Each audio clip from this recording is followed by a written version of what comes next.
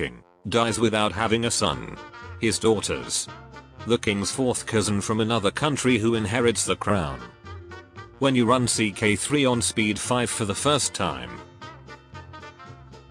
Generations of inbreeding can, however, also result in the beneficial pure-blooded trait, which makes offspring immune to birth defects due to all flaws having been bred out of the bloodline. That's not how genetics work. This is why I hate video games. It appeals to the male fantasy. Your wife, friend and soulmate. Everybody in the community. CK3 is a great game.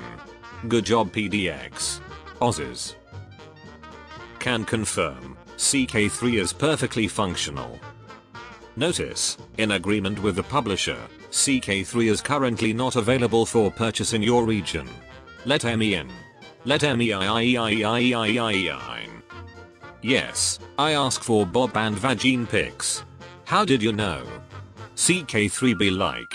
75% scheme. Failed. 30% scheme. Also failed. Look, I've played CK2 for 3000 plus hours, okay? Whatever it is, I'll understand. CK3 skip tutorial, there is nothing about this I understand. My beloved granddaughter. As my perceptive granddaughter order Fleeda smiles kindly I drop any pretense of restraint. Tearing the shirt of her, putting my hands around her waist, my aching desire against her own. The love a grandfather feels for his granddaughter cannot be wrong. My grandson, my son, me. Wait he's your son? Always has been. Broken Cross. The pitiful soldiers of St. George were no match to our warriors.